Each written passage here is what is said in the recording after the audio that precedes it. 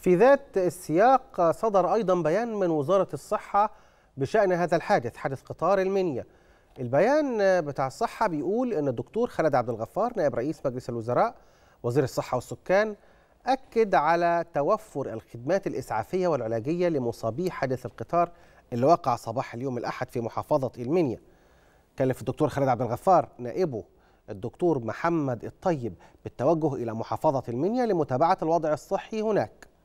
ميدانيا وجه أيضا برفع درجة التأهب الطبي للمستشفيات الواقعة في النطاق الجغرافي للحادث. وأعلنت الوزارة الدفع ب 23 سيارة إسعاف مجهزة إلى موقع حادث القطار موضحة أن الحصر المبدئي يشير إلى أن عدد المصابين بلغ 20 مصاب وتم نقل 19 منهم إلى مستشفى المنيا العام ونقل مصاب واحد إلى مستشفى المنيا الجامعي.